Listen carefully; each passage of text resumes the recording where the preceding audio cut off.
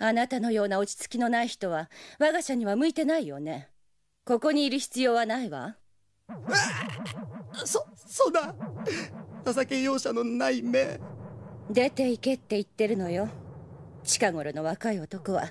口だけは偉そうなこと言ってるけど実力や責任感はゼロね。待ってください社長！今日はダメでも明日という日はでっかい太陽が昇るかもしれません You're obviously very unstable and you don't belong here. You don't belong in this business! Oh no! It's a nightmare! No!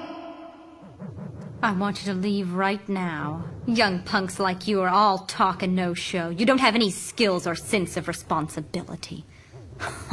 ah, now wait a minute! Huh. I may be dim, but it's always dark before